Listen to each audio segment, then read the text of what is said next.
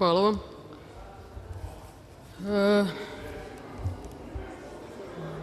E, kada pričamo o odgovornosti, 30. septembra 2003. godine Vladimir Rovčanin, radnik Bezbednosno-informativne agencije BIA, ubio je četvoro i teško ranio trojicu kolega u Nišu. Niko me nije palo na pamet iz čitavog sistema odbrane, odnosno bezbednosti, da podnese ostavku. Nikome.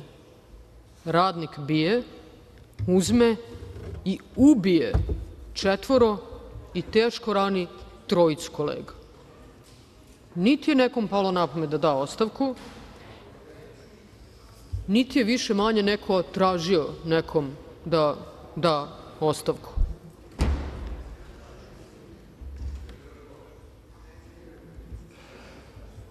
Ubije se, ne ubije, strelja se, bukvalno se strelja u dvorištu Vlade Republike Srbije dok ide na posao, žuri na sastanak, predsednik Vlade. Niti je od ovih ljudi ovde koji su tada bili na vlasti, koji danas pričaju o političkoj odgovornosti, niti je ko podneo ostavku, niti je kome palo na pamet da traži neku ostavku. Predsednik Vlade nije ubijen u drugoj državi, nije ubijen na letovanju, na zimovanju, ubijen je na svom radnom mestu u Vladi Republike Srbije. Dakle, nije postojao bezbednosni sistem. Znate kakva je odgovornost? Tada ili do skoro savezni ministar odbrane Zoran Živković dobije unapređenje i postaje premijer. To je odgovornost. Pričamo o političkoj odgovornosti. Tako ste vi vladali. To govori dovoljno o vašoj političkoj odgovornosti. Ubiju premijera, a onaj ko je bio savezni ministar policije, umesto da podnese odgovornost i svi ostali u bezbednostnom sistemu, svi dobiju unapređenje.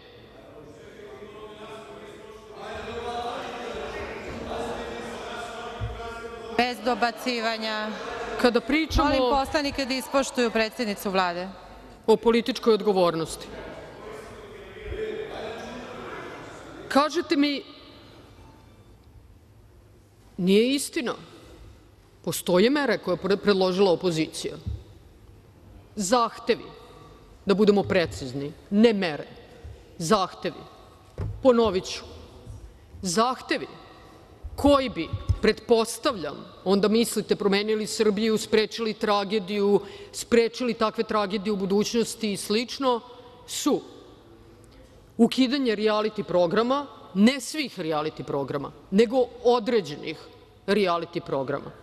Nema kriterijuma, kriterijuma u tim zahtevima. Dakle, nema kriterijuma u tim zahtevima, nego oni rijaliti programi Molim koje narodne poslanike da ne odluče. dobacuju.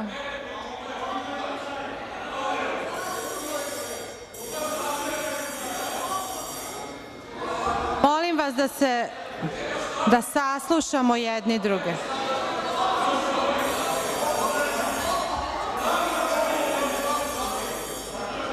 Narodni poslaniče Lazoviću, ja vas zaista molim, svesna emocija, reakcija, molim vas sve, da vas ne prozivam, Zelenoviću, molim vas narodni poslanici, slušamo predsednicu Vlade, samo ona govori, ostali je slušaju. Izvolite, izvinite. Ovi narodni poslanici su zaista jedno lice borbe protiv nasilja. Zaista jedna tolerantna, pristojna, normalna Srbija. Tako valjda komunicira, jel? U jednom ovakvom forumu. Dakle, ukidanje rijaliti programa određenih, ukidanje frekvencija za određene televizije, Pink i Happy, smena REM-a, zabrana štampanja tabloida, ponovo određenih tabloida, ne svih tabloida, nego onih tabloida koje oni kažu da smeju, odnosno da ne smeju da se štampaju. Smena rukovodstva Radio televizije Srbije, smena Bratislava Gašića i Aleksandra Vulina. To su, poštovani građani, čuli ste, mere koje je predložila opozicija. Kakve veze to ima tačno sa tragedijama koje su se desile? Kako bi to sprečilo bilo koju od ove dve tragedije? Šta tu ima mera? Gde je tu bezbednost u školama? Gde je tu promena, na primer, gde je tu, na primer, predlog promene nastavnog plana i programa kako bi, na primer, decu učili više tolerancije, sposobnostima komunikacije, razumevanju, nenasilnoj komunikaciji. Jel to možda među zahtevima da promenimo nastavni program? Ne, nije. Ali jeste pink i happy. Da li ste videli neku meru koja se tiče mentalnog zdravlja mladih? Višeg pedagoga i psihologa u školama? U redu, ne slažemo se da će biti više, ne slažemo se sa tim da bude više policajaca, ali zaposlite više pedagoga. Ne, ni to niste predložili kao meru. Predložili ste ukidanje tabloida koji se vama ne sviđaju i promociju valjda tabloida koji se vama sviđaju.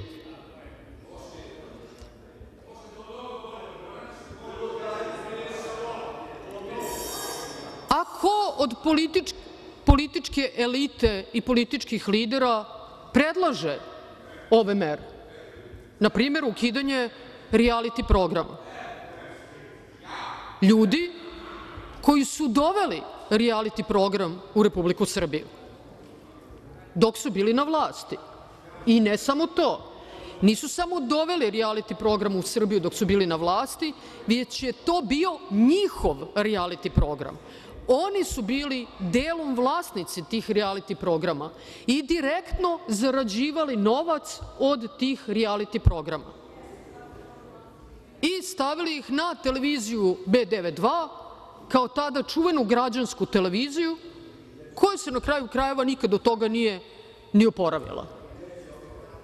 I to su ljudi koji danas brinu za decu, bore se protiv nasilja, protiv rijaliti programa, koji su kuću Velikog brata, dakle rijaliti program, uselili u Pionirski grad iselili instituciju koja je bila nadležna za decu i omladinu. Iselili, iselili tu instituciju, uzeli to praktično besplatno, jer su bili na vlasti, kao vlasnici rijaliti programa, uzimali pare od rijaliti programa, emitovali rijaliti program, uveli rijaliti program u Srbiju i ne samo taj rijaliti program, već čitav niz rijaliti programa koji su od tada, dakle od kad su ova gospoda koja danas pričaju o rijaliti programa bila na vlasti, od tada postali nova normalnost na malim ekranima u Republici Srbiji. Besplatno dali Pionirski grad, iselili decu i omladinu. Nije potrebno uopšte za decu i omladinu, zašto da ne, najjeftinije nam je da stavimo to u jednu instituciju, zato što tu, pošto smo vlast, možemo da izdejstvujemo da ništa ne plaćamo. Ako ništa ne plaćamo, a vlasnik smo Velikog brata, onda znači da možemo više para da stavimo u naš džep i da imamo veći profit. E, ti ljudi danas pričaju o ukidanju rijaliti programa i o brizi za decu i omladinu.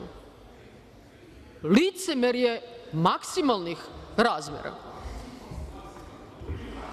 E, onda kada se taj Veliki brat završio, onda su otišli.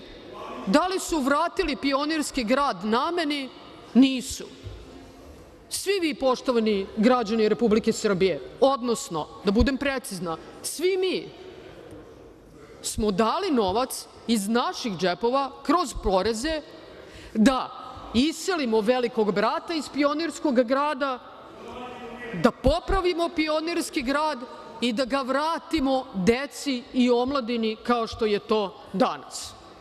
E, to su ljudi koji danas kažu predlažemo mere između kojih je reality program.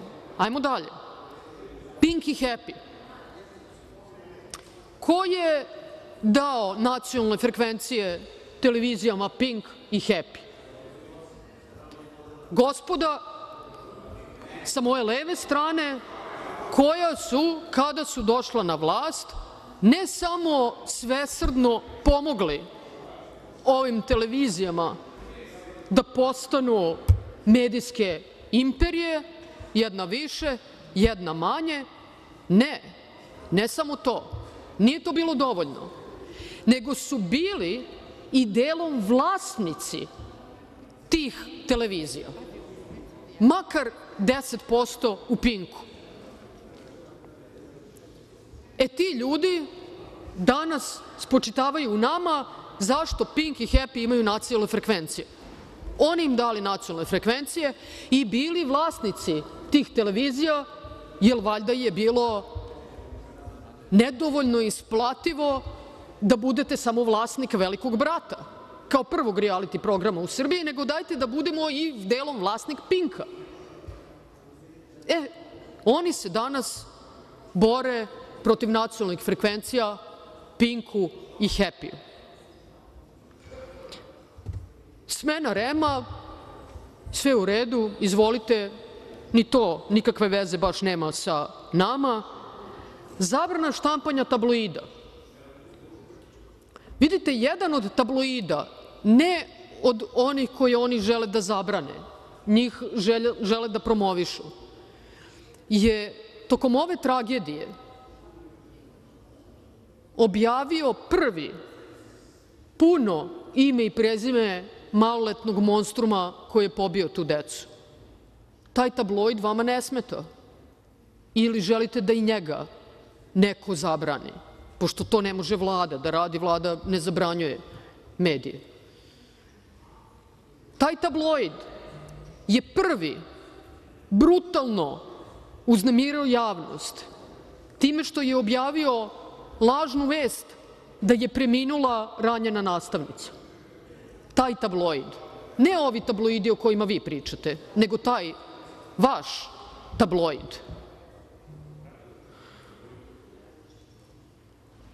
I dobro, smena rukovodstva RTS-a, slobodno, što se mene tiče, opet nikakve veze ili ingerencije Vlade Republike Srbije nema sa tim, ali ako neki od vas onda u tom smislu ostanu bez posla, pošto ste u RTS-u, nemojte opet onda mi da budemo krivi. I smena Gašića i Vulina, o tome sada razgovaramo. Dakle, kao što sam rekla, poštovani građani Republike Srbije, ovo su predlozi mera. I ako mogu da kažem, ovi predlozi mera, dakle nikakve, odnosno zahtevi, ovo nisu mere, nikakve veze nemaju sa tragedijom. Znate sa čim imaju veze? Ovo je zahtev za kontrolu nad celokupnim medijskim tržištem od strane Dragana Šolaka. I to je jedino što ovi zahtevi predstavljaju. To je ukinite Pink, Happy, Informer, Alo, koga god, pustite Šolakove medije, dajte im nacionalne frekvencije, svi ostali moraju da se zatvore. I kao što su rekli i neki predstavnici opozicije, ni to neće biti dovoljno, nego ovima i da oduzmemo imovinu, pa besplatno da damo Šolaku da on može da širi svoju imperiju. I to je u stvari logika iza tih zahteva. Kompletna kontrola medijskog tržišta. Da se radilo o deci, da se radilo o tragediji, da li u Duboni ili Malom Orašju ili u osnovnoj školi Vladislav Ribnikar, mogli smo da pričamo o nastavnom programu. I želela sam da pričamo o nastavnom programu i možda merama. Ono što je, recimo, Radna grupa za zaštitu i napređenje mentalnog zdravlja mladih preporučila. Mi ih napravili, dali im ljudima da rade, oni preporučili da sednu preko leta sa predstavnicima Filozofskog fakulteta. Nadam se da neće biti jedan od onih što poziva na nasilje, ali da pravi program o nenasilju u školama, ali neću da se mešam u to. Ipak su oni svakako mnogo stručniji i pozvaniji od mene. Dakle, sa predstavnicima Filozofskog fakulteta i tokom leta ćemo adaptirati nastavni plan i program i u vrtićima i u osnovnim školama i u srednjim školama kako bi mnogo više u okviru kurikuluma radili na toleranciji, nenasilnoj komunikaciji i svemu onome što suštinski može da promeni ovo društvo, a da krenemo ipak od obrazovanja. Ali da li je to mera koju je opozicija predložila? Ne. Nije im palo na pamet. Pedagozi, peda, da li ste u ovim merama videli povećanje broja pedagoga i psihologa u školama? Ne. To je mera, recimo, koju je predložio Savet za borbu protiv vršnjačkog nasilja, pa ćemo sada raditi i to. Odvojićemo i dodatni budžet. Ali to nismo čuli od opozicije. Nismo čuli od one opozicije koja kaže da Lipovac bez dobacivanja. ako, ste, ako sam čula, onda gde je napisano? Pošto ste mi rekli, rekli ste mi da sam dobila napisano zahteve, ja sam pročitala zahteve. Zahtevi se tiču kontrole medijskog tržišta u Republici Srbiji, ne dece, ne nastavnog plana i programa, ne škola. Tako da toliko što se tiče programa. Ja ću vam reći još jednom, ću ponoviti. Dakle, u nekim drugim zemljama Nemojte da dobacujete, čoveče. u nekim drugim zemljama mi kao Vlada ili neka vlada da plan i program, opozicija da svoj plan i program i onda građani mogu da vide šta ko nudi i šta ko zastupa, a mi kao političari koji valjda treba da rade u interesu građana i ove zemlje i njene budućnosti, onda možemo da suočimo naše planove i mere i preporuke i da debatujemo oko njih. Ali mi ovde nemamo o čemu da debatujemo.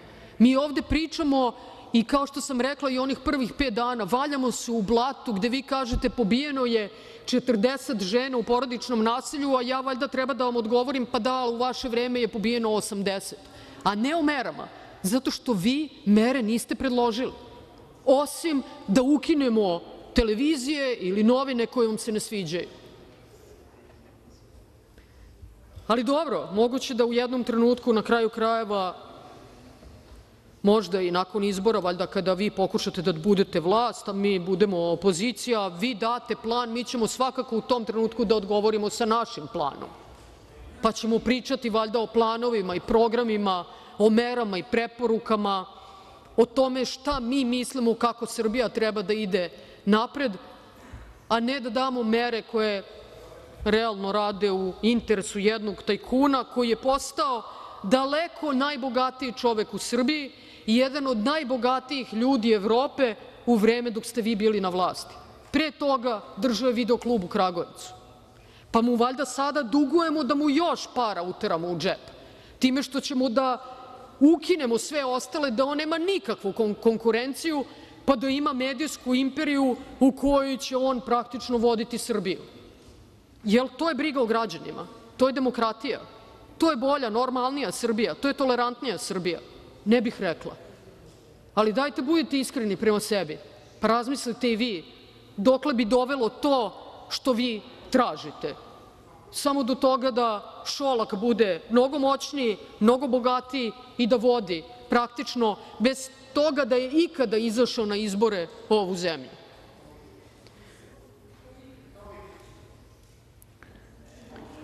Dobro. Što se tiče Kosova i Metohije, Prvo još opomena jednom Jevtić. ću, još jednom ću podvući ono kako vi govorite o Kosovu i Metohiji najbolje govori o tome da je vaša politika i dalje dekosovizacija Srbije. Citiraću vas, pogledajte u transkriptu. Rekli ste bezbednost građana je ugrožena i u Srbiji i na Kosovu. Kosovo je sastavni deo Republike Srbije. Pogledajte u transkriptu, nikakav problem, ja pravim mnogo lapsusa, kao što znate. Pogledajte pa se izvinite građanima na Kosovu i Metohiji, zato što ste upravo tako rekli. Bezbednost građana je ugrožena i u Srbiji i na Kosovu. Ili vam je to ono što bi se zvalo Frojdovski lapsus pobeglo, pošto zaista to i mislite. Pomenuli ste šta radimo sa javnim preduzećem i imovinom građana Srbije. Vi koji ste prodali čitavu naftnu i gasnu industriju Republike Srbije za 400 miliona evra. Ponoviću vam samo poređenje kako se mi odnosimo prema imovini građana Srbije, a kako ste se vi odnosili prema imovini građana Srbije. Prodali ste čitav NIS za 400 miliona evra. Mi smo dali aerodrom u koncesiju. On je vlasništvo građana Republike Srbije i dalje.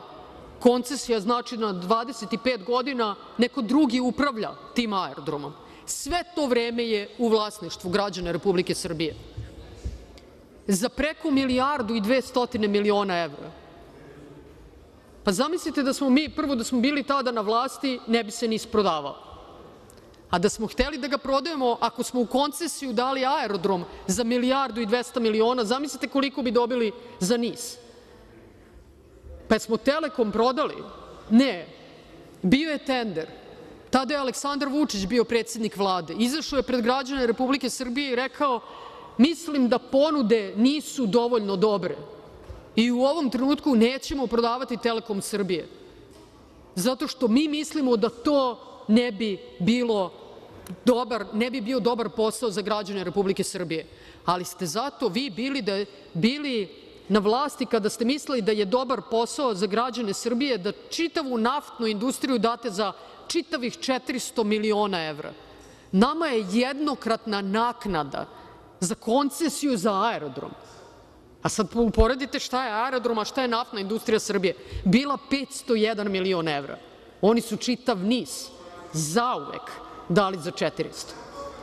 A recite mi, bioskopi, kada su privatizovani bioskopi? Je to bilo dok ste vi bili na vlasti? Svi privatizovani, svi zatvoreni. A da vas podsjetim, sva vodoizvorišta, kada su privatizovana i prodata i predata u ruke stranaca? Dok ste vi bili na vlasti ili kada smo mi bili na vlasti? Pa dok ste vi bili na vlasti. Tako da nemojte nama da pričate kako se ko brine o imovini građana Republike Srbije. O građanima i imovini građana Republike Srbije se brinemo tako što smo u 10 godina više nego duplirali vrednost svega što mi svi zajedno kao nacija, kao država stvorimo. Lagali ste za aerodrom da smo ga privatizovali, širili lažne vesti, dezinformacije. Trebalo nam je tri meseca da se borimo sa tim i opet nismo čuli izvini. A sada znate da je aerodrom i dalje naš i o tome dalje ne pričate. Pa kažete dosta više šta je sada važno, šta je ko radio pre 10 ili 12 godina. Ja shvatam da vi ne želite to da čujete i da ne želite da se podsjetite, ali sad ću da vam kažem zašto vam ja to ponavljam. I opet, ponavljam vam zato što ste vi nametnuli te teme.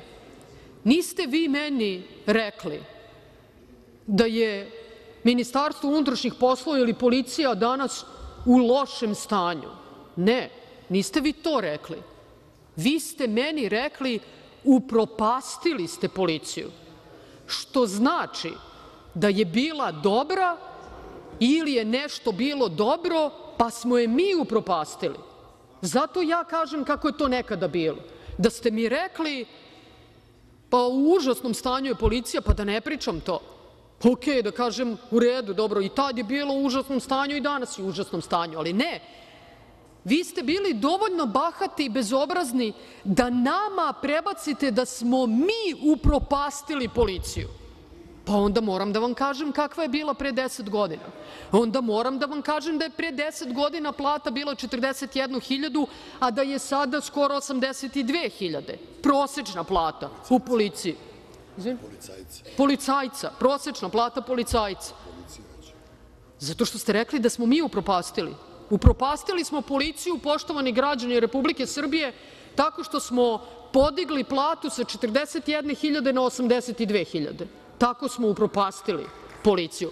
E zato pričam o tome šta je bilo pre 10 godina. Zato što ste vi imputirali da je pre bilo bolje.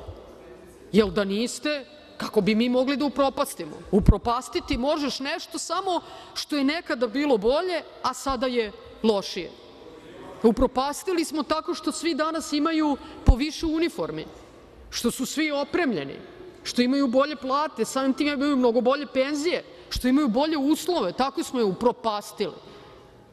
Pa kad mi već to kažete, zašto bežite onda od toga šta je bilo pre 10 godina? Zašto se ne ponosite time kako je bilo pre 10 godina? Što ne kažete pre 10 godina bilo odlično? Da, Podsetite građane Republike Srbije na to kako je bilo pre 10 i 12 godina.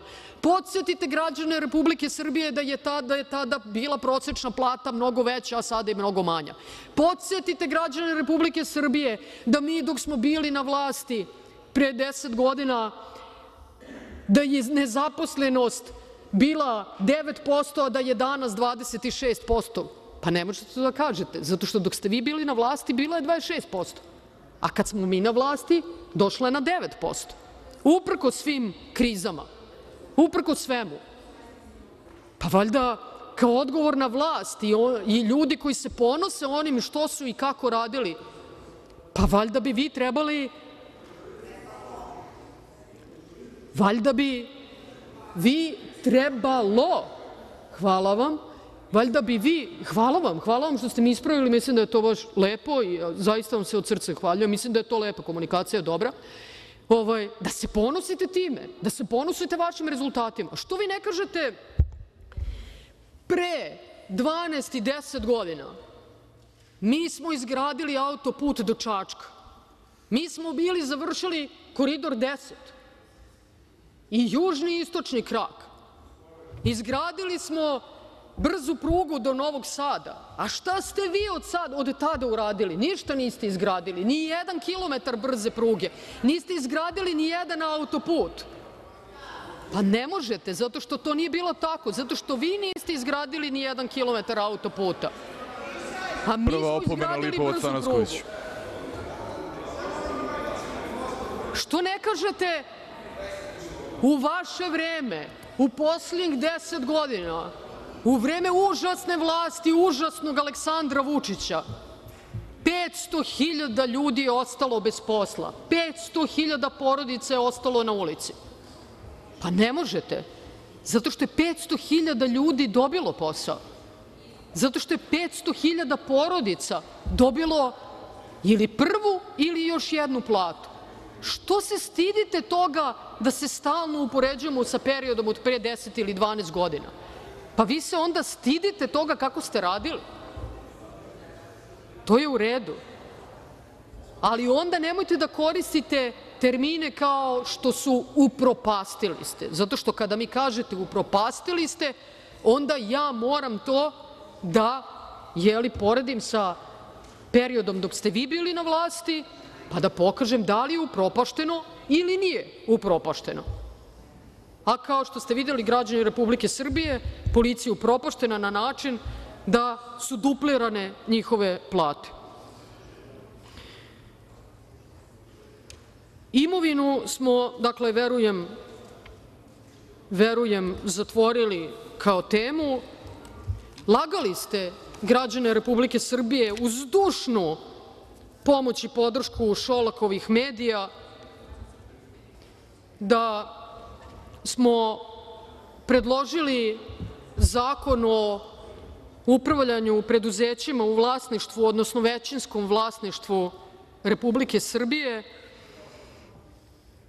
da smo ga proturili u tajnosti, da smo ga proturili iznenada, da smo ga proturili zato da bi prodali nacionalne parkove i da bi rasprodali javna preduzeća četiri brutalne laži. I od tada su otvorili tu temu, valjda kako su oni brinuli o imovini, a mi ne brinemo o imovini. Poštovani građani Republike Srbije, to promena, izmena tog zakona je u strateškim dokumentima Vlade Republike Srbije ni manje ni više nego poslednjih tri godine, od 2020. godine. E, toliko se bave svojim poslom i toliko im je stalo do imovine i strateških dokumenata i suštine. Jer da im je stalo, 2020. bi u prvom strateškom dokumentu, kada se pojavio i kada je usvojen, rekli ljudi, mi se ne slažemo, nego nema veze, ako prođe, prođe. Da napravimo još neku gužvu, da vidimo ponovo sa građanima Republike Srbije uz podršku naših medija gde je loptica, pa možda i na talosu toga da izvučemo neke ljude na proteste. A u stvari čitava poenta predloga tog zakona je u tome da javna preduzeća više nikada ne budu partijski plen, nego profesionalizacija, da nemate više koalicione sporazume i dogovore oko toga ko vodi koje javno preduzeće. E sad, 2020. godine ili 2021. godine, kada smo usvajali te strateške dokumente, tih godina vam je valjda delovalo da ste mnogo daleko od vlasti, pa nije to bilo ni važno, a sada vam deluje valjda da ćete uspeti valjda vlast na ulici da promenite, pa je onda u stvari panika ne oko tih javnih preduzeća, nego kako sad baš da profesionalizujemo, kako sad baš da usvojimo zakon da ne budu više partijski plen kada ste valjda vi nadomak vlasti, pa ćete opet da ih delite i da uzimate novac iz tih preduzeća kao što su neki uzimali novac iz Kolubare.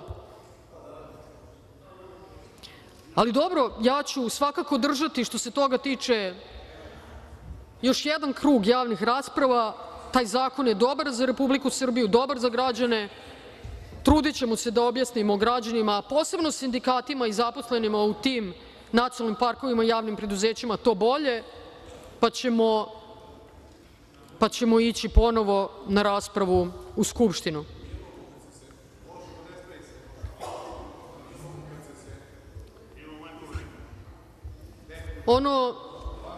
Što mi je tu takođe važno da napomenem i još jednom da naglasim zbog građana koji nas prate i slušaju, ljudi, brutalna laž da smo želeli da prodamo nacionalne parkove.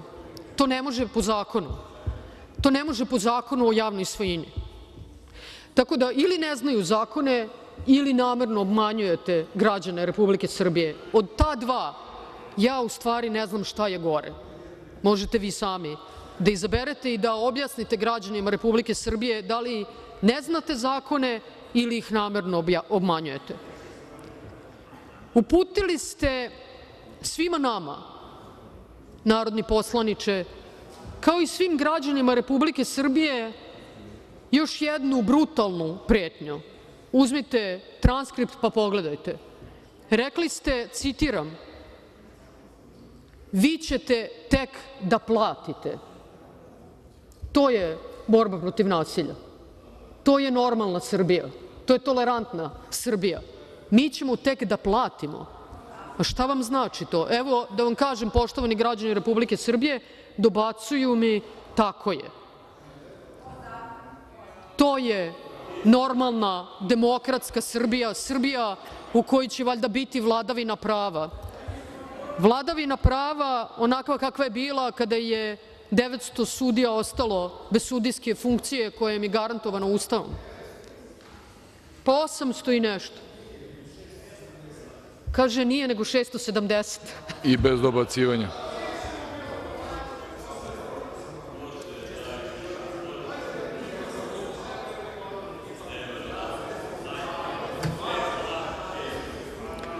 Nije 900 nego 670 sudija je ostalo preko noći bez posla, bez funkcije koja im je garantovana Ustavom. stalnost funkcije i vama je to u redu i kažete nije 900 nego samo 670.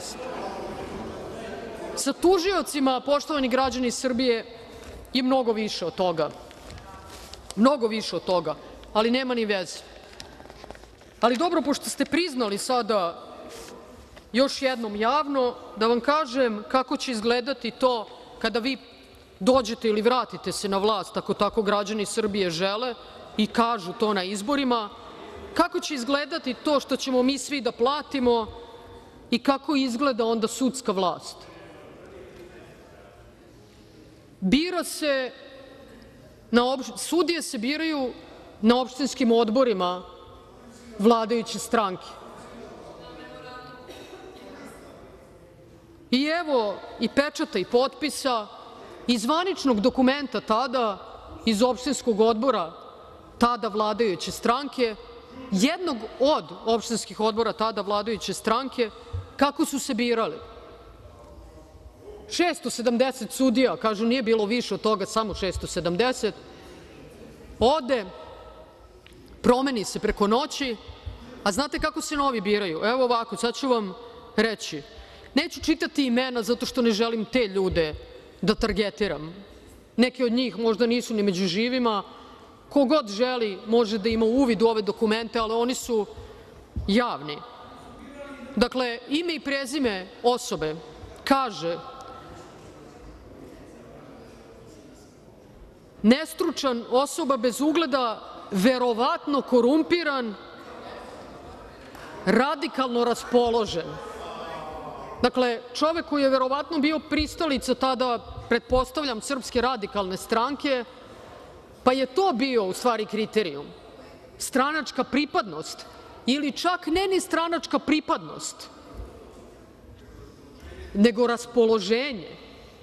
I onda je taj čovek verovatno korumpiran. Nemamo nikakve dokaza, ne postoje, zato što verovatno nije bio. I tako su se birale sudije. Ali zato jedan drugi čovek, ime i prezime, kaže kao najvažnija karakteristika za njegovu sudijsku funkciju dugogodišnji simpatizer te vladajuće stranke, piše, odbacivao, pa zarez, ljudi, slušajte ovo, odbacivao sve krivične prijave prema funkcionerima opštinskog odbora te vladajuće stranke. Zaslužan da bude izabran za sudiju. I to su samo neki od primera. I oni se ni dan danas toga ne stide. Oni dan danas kažu nismo 900 nego samo 670 sudija. Najmanje dvoje od tih 670 se ubilo, izvršilo samoubistvo, zato što su izgubili svoju čast i svoj ugled i, smenjeni samo zato što nisu bili simpatizeri ili članovi tada vladajuće stranke. Ali se ni danas ne stide. I danas kažu tek ćete vi platiti na taj način. Kako su birane sudije? I ja verujem da ako se vi vratite na vlast da ćemo mi platiti, da ćemo mi svi biti u zatvoru. Ja zaista verujem u to. Ništa nismo skrivili, ništa nismo radili protiv zakona, ali dođu sudije koje oni žele i onda bude kao što onaj jedan vaš nezavisni novinar i urednik jednog od nezavisnih, kako kažete, i profesionalnih medija kaže – svi vi, ne svi vi funkcioneri, ne svi vi političari, nego svi vi iz Srpske napredne stranke, svi vi glasači Srpske napredne stranke, svi vi simpatizeri stranke, svi vi ćete u logore. Tako izgleda valjda ta normalna i pristojna, razumna i tolerantna, demokratska, građanska Srbija. Za sudiju Osnovnog suda u Požegi, poštovani građani Republike Srbije, nakon te reforme pravosuđa i takve vladavine prava koju nam i danas ne samo obećavaju, nego potvrđuju, je izabran sudija koji je preminuo. pa je tadašnje Ministarstvo pravde moralo Visokom savetu sudstva da priloži, verovali ili ne, izvod iz matične knjige umrlih.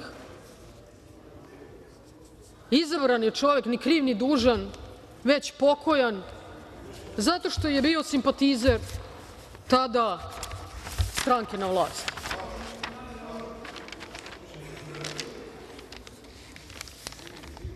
Ali dobro, pretite, ja sam zaista sigurna i ubeđena u to, zato što ja verujem u Srbiju, ja verujem u naš narod, ja verujem u građane Republike Srbije,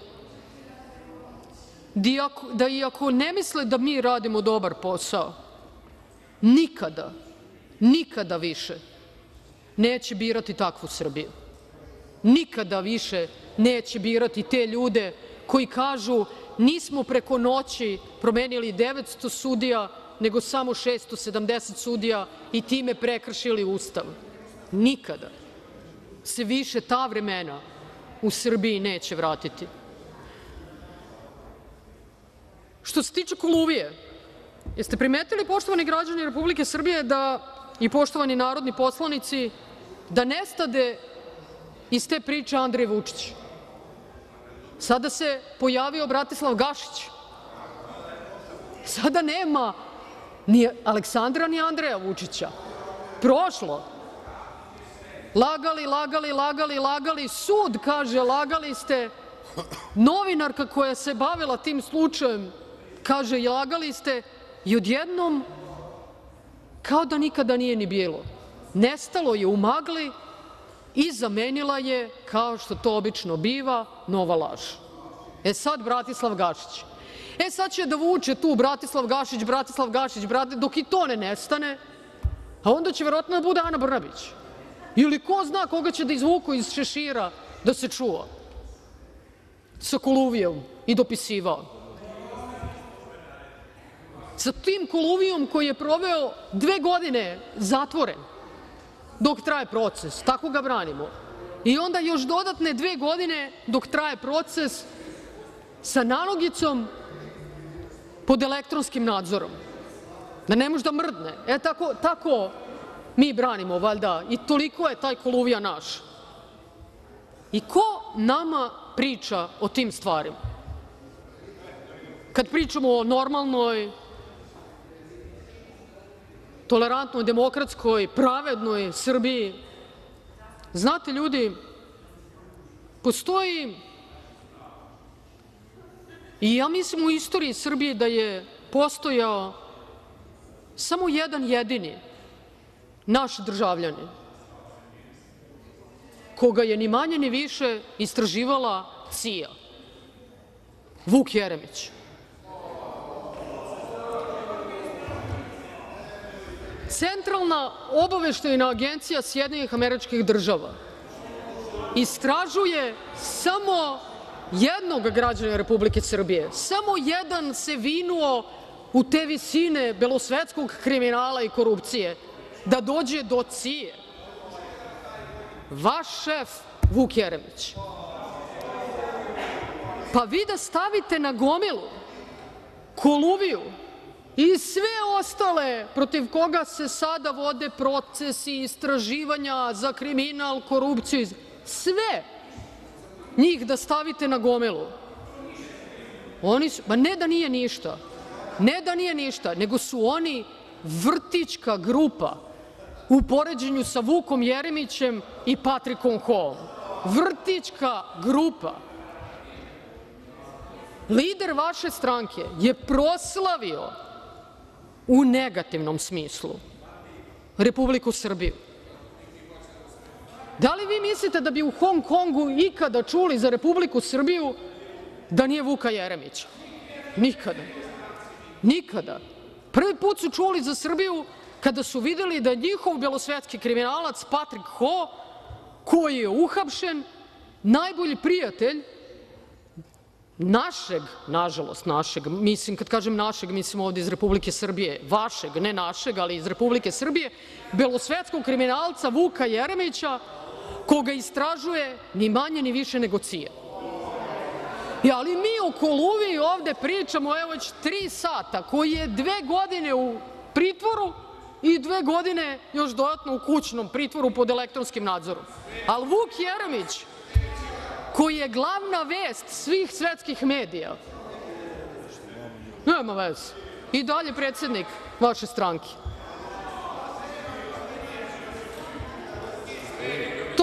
To, vam je, narodni poslanici, poštovani građani Republike Srbije, to će da bude vladavina prava. Takvi, takvi koje CIA istražuje, takvi koji su Srbiju proslavili u najnegativnijem smislu i u Hong Kongu, e ti će da biraju sudije. E ti će, ti će nama da prete revanšizmom. E takvi će da vam dovedu pravdu i da se bore protiv korupcije. Samo da prvo završi sa CIA-om, pa onda ako ga puste možda se obračuna sa korupcijom i u Republici Srbiji. I konačno, evo završiću, izvinite, stvarno. Vi meni kažete, nema veze. To će neki drugi put, ovaj deo. Vidim da, vidim da ste se unervozili, pa da završavam polako. Da završim temom koja vam je među najmilijima, a to su reality programi. Nekako sam počela time, to je jedan od najvažnijih zahteva protesta protiv nasilja, opozicije, a da vam kažem, obišli ste, obrnuli ste pun krug. Prvo ste uveli reality programe, doveli ih u Srbiju. Onda ste ih smestili u Pionirski grad, u instituciju za decu i omladinu. Onda ste bili i, odnosno ne vi, vaši lideri i organizatori, neki od organizatora protesta protiv nasilja, onda ste bili i vlasnici Velikog brata, odnosno te produkcije, pa ste na reality programima zarađivali, a bili ste, bogami, i vlasnici Pinka, delom vlasnici Pinka, koga sada želite da ukinete. Ali onda, gle čuda, ste i registrovali udruženje pod nazivom Srbija protiv nasilja. I time završavam. Ali nije to sve. Nemojte, moram vas, poštovani narodni poslanici, nemojte, samo me pustite da završim, da vam pokažem kakve to veze ima sa realitijem. Danas je, a i poštovani građani koji protestujete zato što vam se ne sviđa atmosfera u društvu i iskazujete, naravno, nezadovoljstvo sa određenim stvarima u društvu. Koja? Nije metla. Sledeća mera je oduzimanje reči. Ja primećujete razliku između oduzimanja reči i metle ili vam je sad sve potpuno isto? Kako god da pogledate. Sve vam se zamešalo. Ja.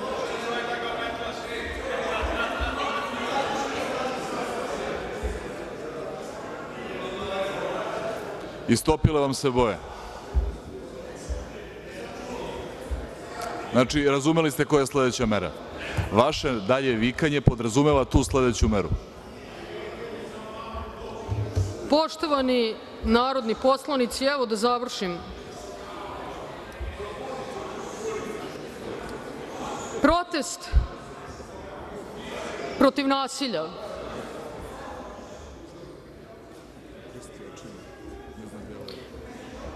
Protest protiv nasilja, poštovani građani Republike Srbije i poštovani narodni poslanici, sada je, slušajte ovo, sada je registrovan kao udruženje pod nazivom Srbija protiv nasilja na adresi ugostiteljskog objekta Estrada u Šapcu. Hvala vam.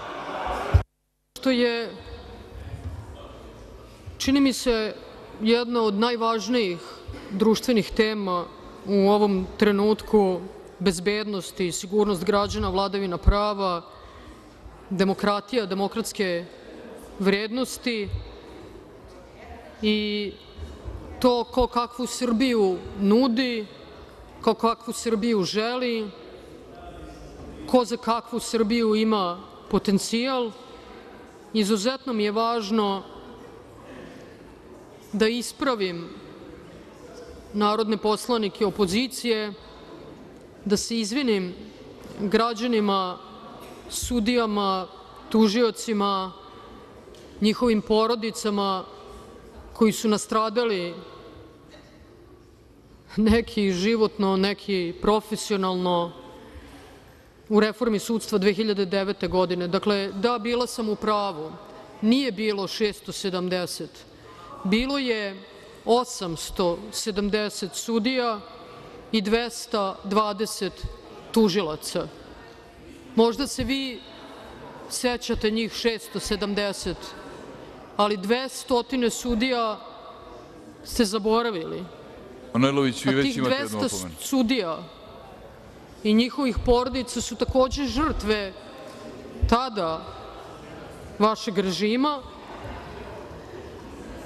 a kakve je to dalekosežne posledice imalo po ovo društvo, po poverenje građana u pravosuđe, u sudstvo, u pravosudni sistem, u pravdu u ovoj državi, u jednakost pred pravdom u ovoj državi,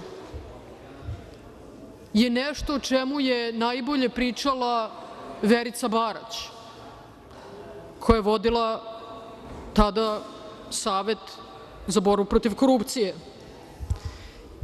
I ja duboko verujem da je to nepoverenje u državu, u vladavinu prava, u pravosuđe, u institucije koje je stvoreno tih godina, a posebno te 2009. godine, nešto što mi i svi naši građani na svojoj koži osećaju i danas.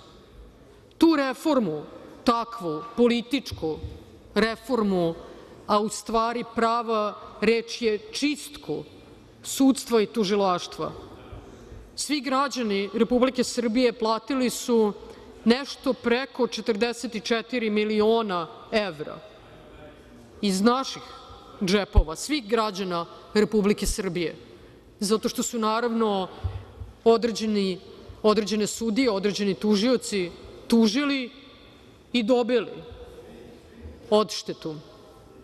Ali to je bila samo direktna novčana konsekvenca toga. Kakva je bila konsekvenca po društvo?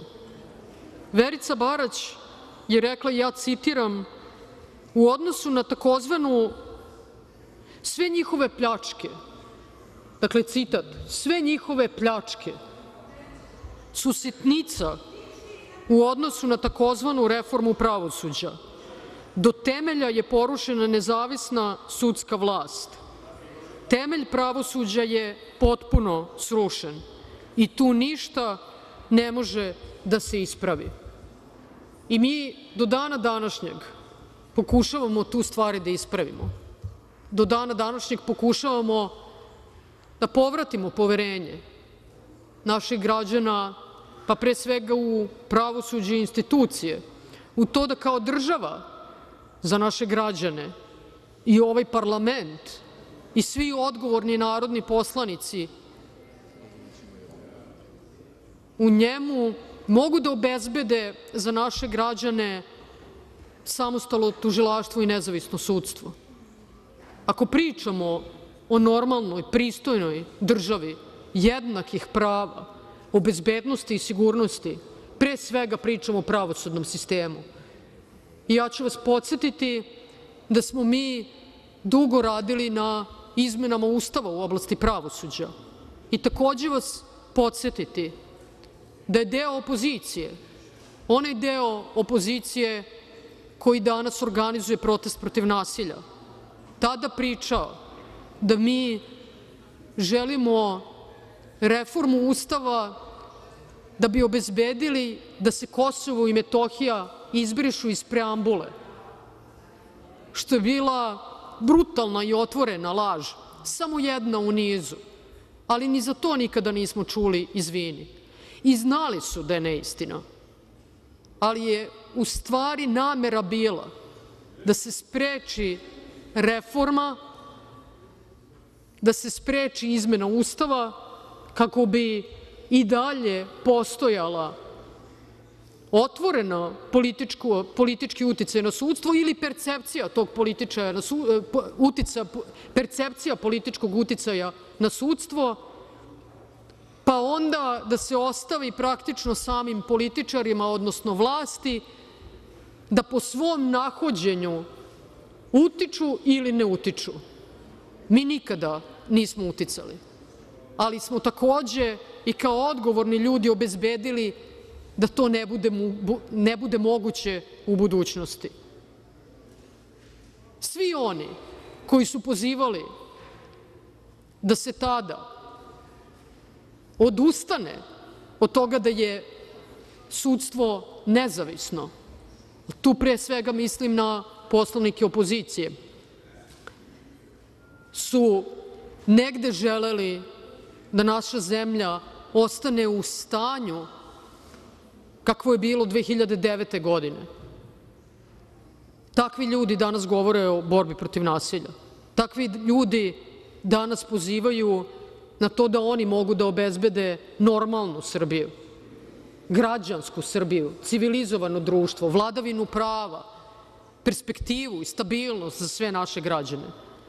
Tako da, ne, poštovani narodni poslaniče, nije bilo 670 već 870 sudija i 220 tužilaca koji su samo isključivo zbog svoje političke pripadnosti ili naklonosti ostali bez funkcija u pravosuđu čiju je stalnost garantovao Ustav Republike Srbije.